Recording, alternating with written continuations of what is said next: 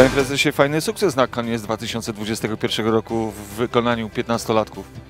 No, olbrzymi sukces. Faktycznie po raz pierwszy w historii będziemy mieli możliwość już wiosną 2022 roku zagrać na szczeblu centralnym w rozgrywkach e, młodzieżowych. Do tej pory nie było nam to dane.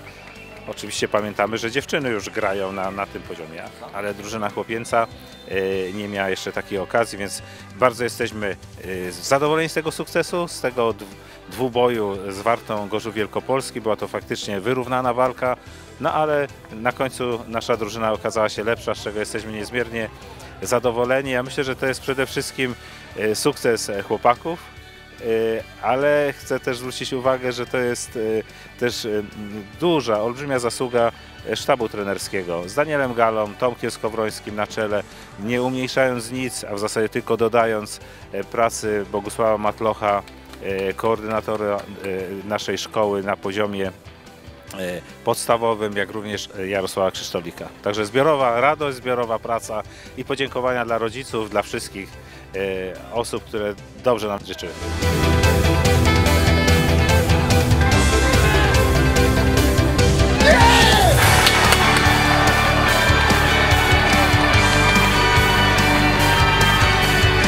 Co tu dużo mówić, gratuluję trenerze.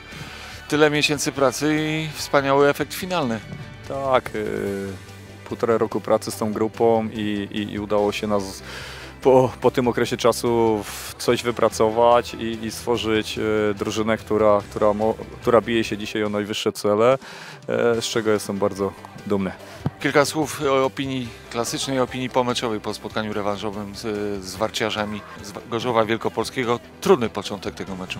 Trudny początek, e, przeciwnik nam postawił wysoko poprzeczkę, e, weszliśmy chyba zbyt bojaźliwie, e, pozwalając przeciwnikowi na zbyt wiele, popełniliśmy dużo błędów indywidualnych, dużo stałych fragmentów, z czego przeciwnik był groźny, ale wydaje mi się, że z upływem e, czasu przejmowaliśmy inicjatywę na boisku i, i graliśmy coraz lepiej. Ten stały fragment gry, gry, który zdecydował o rezultacie spotkania, to element wyćwiczony. E, tak, element wyćwiczony, aczkolwiek e, z tego co pamiętam było w tym trochę przypadku, bo piłka spadła Filipowi pod nogę, a on wiedział jak się zachować jak typowy rasowy napastnik. Panowie, gratulacje, to przede wszystkim świetne spotkanie, świetny dwumecz y, z Gorzowianami, awans do Centralnej Ligi Juniorów do 15-latków. Ciężkie to było spotkanie, to mówię o meczu rewanżowym. Było to bardzo ciężkie spotkanie. Był lekki stres, ale jechaliśmy z nastawieniem, że musimy to wygrać. W sensie chcieliśmy dobrze grać i nie było opcji, żebyśmy odpuszczali. A ten lekki stres to chyba mało powiedziane na podstawie obrazu pierwszych kilku, kilkunastu minut. Było po, po, po Was widać ogromną nerwowość. Ciężko było, ale daliśmy radę. Skupienie było, y, próbowaliśmy skupienie od samego początku, było parę strat takich głupich było też, no ale daliśmy radę. Siła stałych fragmentów rozstrzygnęła. Tak, trzy bramki padły z trzech stałych fragmentów, dwie z rzutu rożnego i jedna z rzutu wolnego. Jeśli się nie mylę, Patryk, Ty jesteś najmłodszym zawodnikiem w tej ekipie.